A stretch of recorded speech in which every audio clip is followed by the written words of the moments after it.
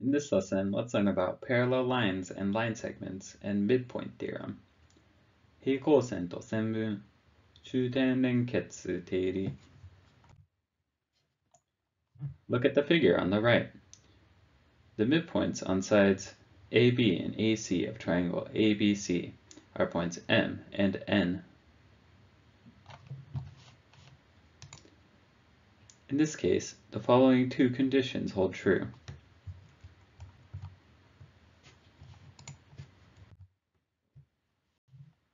The line segment MN connecting midpoints inside BC are parallel.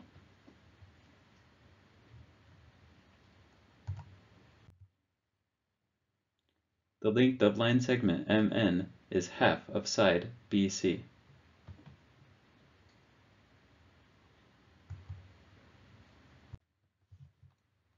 Now let's do some practice. Press the pause button and try to solve the practice problem. Once you're finished, press the resume button and mark what you got correct. Now let's go over our answers. For number one, in triangle ABC, from the midpoint theorem, we know EQ equals 18 times 1 half equals 9. Also, in triangle CDA, from the midpoint theorem, we know QF equals 12 times 1 half, which equals 6.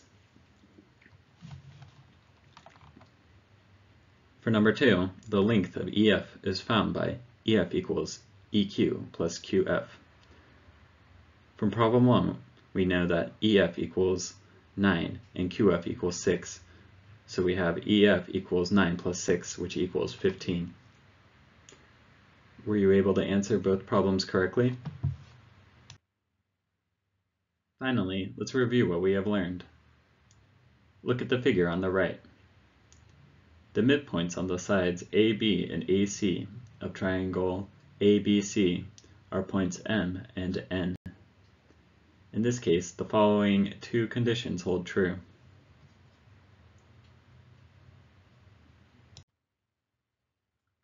The line segment MN connecting the midpoints and side BC are parallel.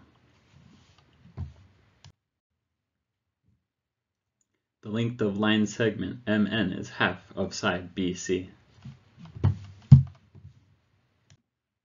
That concludes this lesson.